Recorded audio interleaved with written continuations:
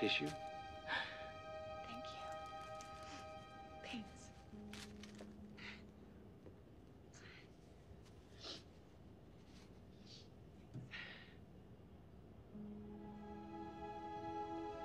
Have we met? Hello, Dr. Burke. Mr. Alpert? I'm uh, so sorry for your loss.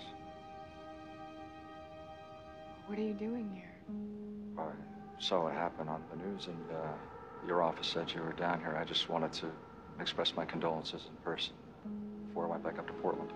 This is Ethan. He's one of my colleagues. It's a pleasure to meet you.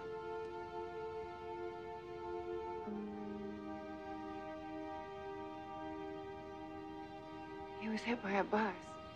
I know. They, they say you were there when it happened. It must have been. No, no. In our interview, I said said that I wanted I wanted him to get hit by a bus. Dr. Burke, I, I realize you're a little uh, shook up right now, but th- this is just a tragic accident. You can't blame yourself. I don't even remember you saying that.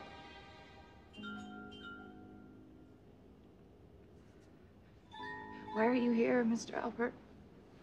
Look, uh, I- I know the timing is horrible, but we came because we're that serious about getting you to come work with us. Just give us six months. If you need to, be back before your sister gives birth. How did you know that my Well, we're very uh, thorough in our recruitment process.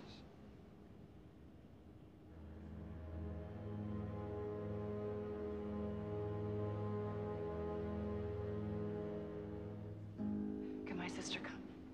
Won't work. We're, we're pretty remote. She wouldn't have access to the treatment that she needs. But it's Portland. There's plenty of clinics and Well, actually, we're not quite in Portland.